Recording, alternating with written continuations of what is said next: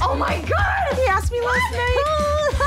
what is happening? So will you be my maid of honor? Of course I will. I don't know what I'm supposed to do. No, just whatever. Throw the bachelorette party Yeah. in the shower and Oh my god.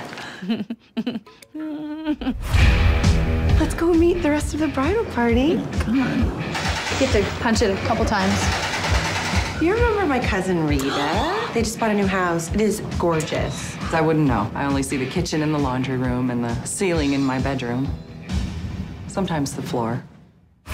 This is Becca from work. This is your husband?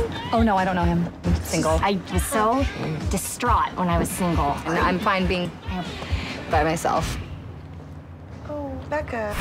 This is Dougie's sister, Megan. You must be Annie's fella. I'm not, he's not, I'm not with him. I'm glad he's single because I'm going to climb that like a tree. You have to meet Helen. You're so pretty. So cute. Did you come from work?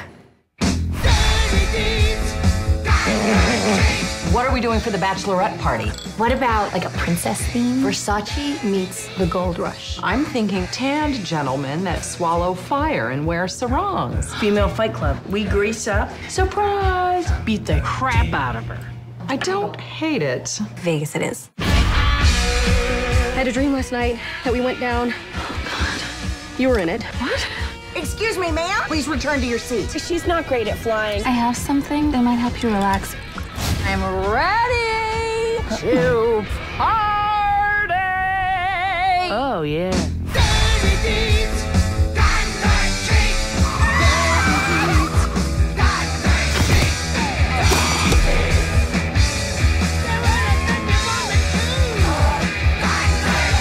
You should come to Lillian's wedding with me. No. Oh, this is some classy. I'm sorry. I want to apologize. I'm not even confident of which end that came out of.